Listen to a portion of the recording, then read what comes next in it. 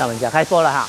开始了。好，浪家口后来，那个还没有的，好，那个呃，今天要下午要直播分享的车款是纳智捷的 S 五，那这款车是二零一四年的哈，呃，是二点零升涡轮引擎，那这款车的前面悬吊系统是麦花臣，后方的话是扭力梁推臂的系统，所以它后方弹簧跟避震器是分开，共用底盘的系统，还有修理车的 U 六，好。U 六的话跟 S 五它的底盘架构全部都是一样的哈。那我们先来看一下原厂的悬吊系统，因为车友有说哈，这款车它已经开了大概十二万公里左右，右前的避震器啊已经损坏了，所以就考虑哦换装。车友有帮我们推荐哈，谢谢冠伟吧哈，冠伟谢谢车友帮我们推荐。那今天的呃安装的版本是 KT 的道路版哈。好，那这个是后方的，它的后方悬吊系统很简单的哈。后方的话是拖一臂的，所以弹簧跟避震器就是一个分开的结构。但是后弹簧，因为这个体系跟你上的 T 打有点像哦，所以它后弹簧其实还蛮短的哦。吼，后弹簧，那它的它上方有一个橡皮，这个橡皮的话是不需要沿用的哈，不需要沿用。好啊，我来，我也忘记这一台的阻尼嘞。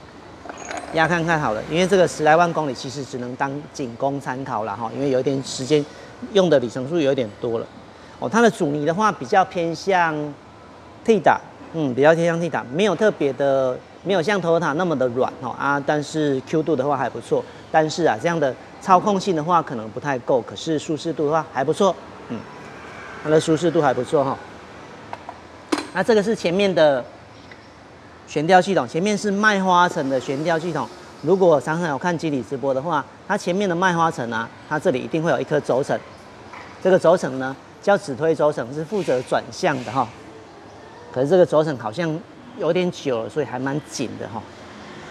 好，这个是啊，前面的话因为用的里程数有点多了哈，所以它的防尘套啦哈，还有馒头的话已经稍微有一个破损的状况。当防尘套破损之后，它的沙尘哦，有可能会石头之类的会喷到这个活塞杆，那活塞杆久了之后就会把里面的呃油带到外面来，就是简单的就是一个漏油的状况哈。所以防尘套的破损，呃，一般来说也差不多是避震筒的寿命哦，差不多已经快到一个极限了哈。所以这个是防尘套已经破掉。刚刚来的时候右前好像也有比较低一点点。好，那这里有一些离载串固定点，这个是 ABS 感应线，这个是油管固定件啊，这些的话都是原厂的零件啊。那 KT 的位置也都设计的跟原厂一样，好，所以离载串的话就直接用原厂就可以了。那我们第一个镜头先来带一下后方的阻尼是可以调整的哈。那阻尼调整的位置呢是在后座椅背的后方哈。呃，KT 的话高低可以调整。软硬的话也都能调整。我们先来看一下后方的软硬度阻尼是要怎么调哈。来从那边，我从这里。这个是一个 sedan 的车款哈，是四门的车款。那它的后座哈椅背是可以往前折的，往前折之后，它的避震器上座，它没有上座了哈，它是橡皮对夹的方式，是在我手摸的，我我手的这个角度其实看不到哈，是在这个地方，但是有点暗，对不对？可以可以。可以哈，刚好哈，这样会过步吗？过铺好，等我一下嘿。好，在这个地方哈，所以从这个地方就能调整软硬度了。看不到，好，这里，好，所以这个这个有一个饰板嘛哈，饰板的话稍微掀开之后，从椅背的后方这里就能调整软硬了。那调整方式一样，就是顺时针变硬，逆时针变软，所以从这里做调整。好，那我们来看车底下的结构。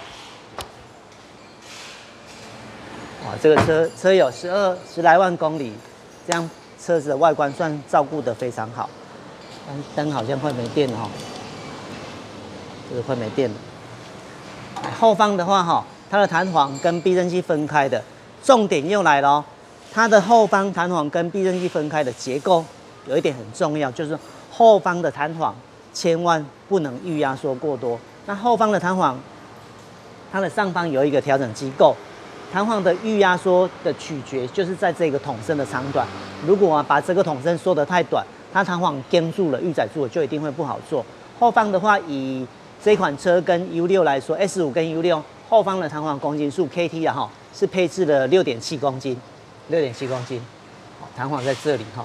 那它的筒身上方有一个加长式的防尘套，这个防尘套把它拉起来，这个就是原厂的，呃，这个就是 KT 的活塞杆，这个活塞杆就是避震器最需要保护的地方。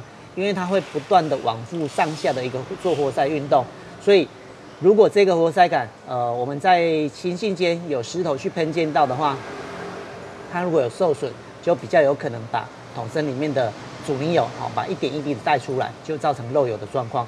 所以这样加长式的防尘套，它是能对轴心做一个全面性的保护。我们把车高降下来之后，这个防尘套啊会往再往下挪，它就能整个把轴心罩住了哈。那后方的车高调整调整完毕之后，这个齿轮状的托盘哈，就一定要把它旋紧啊。那这里有一个有 ABS 感应线的固定扣，要把它扣着。好，这个是后方的结构，很简单。那前面的话，它是麦花臣的悬吊系统哈，它的上座是在引擎室打开就能看得到了。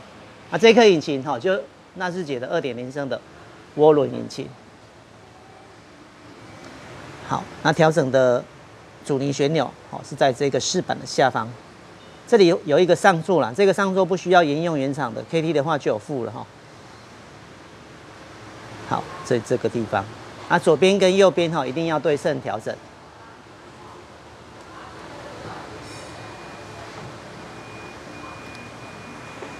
好，那这一款车哈，呃我们的前面弹簧配置啊。大概在半年前的话，有稍微有设计变更过。一般道路版以前的话是配两百长直卷式的弹簧，那现在这条弹簧哈，它是做一个大圈径的弹簧，所以弹簧跟弹簧之间的线距哈会拉得比较开，所以它的弹簧上下作动幅度的形成会比直卷式的话还要来得多了三成左右。那作动前面的避震器在作动的时候，它的上下的移动哈也会变得比较顺一点，因为。它不会，它的弹簧不是直上直下的运动，它有大概百分之三四十的力道啊，会往两旁释放，所以它作动起来呃会比较舒适一点点哦，所以更贴近一般道路版车主大部分的一个需求。那如果是要竞技的设定的话，我们就会把它换成八公斤，可是是直卷式的弹簧，它的过弯的侧倾幅度啊会抑制的更好。那端看车友的需求来做一个选择哈。那前面的车高调整比较简单。我们把这个齿轮状的托盘，我们旋松之后，它的长长度如果是拉长的话，它的车高就变高；如果缩短的话，它的车高就变低哈。那它有一些固定点哈，这些固定架都是跟原厂位置一样的，油管固定架、ABS 感应架哈，都是用跟原厂一样固定位置。那它离载串的部分的话，是沿用原厂离载串，不需要了，不需要再多花钱，呃，买可调式的或者是是改装的哈。就直接用原厂就可以了。那这款车的话，我们也有北中南也有提供实车，可以给车友们来试乘哈。那如果试乘之后也觉得满意的话，再来考虑 KT 的产品就好了。OK，以上是今天纳智捷 S 五的直播影片分享，谢谢大家，拜拜。